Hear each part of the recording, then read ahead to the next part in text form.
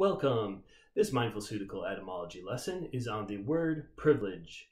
We will be discussing this word's origin and meaning. I'm Dr. Daniel May. Thank you for joining me.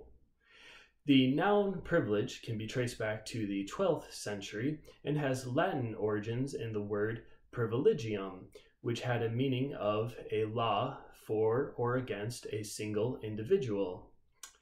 This word can be broken down into two parts, with the prefix privus, meaning individual, which is also the origin of the word private, as well as the suffix lex or ledge, meaning law. When these two parts are combined, we see the meaning of a law for a single individual. Does this change the way you view the word privilege at all? Please leave a comment below. Remember to like and subscribe. And as always, I wish you well in your pursuit of health and wellness.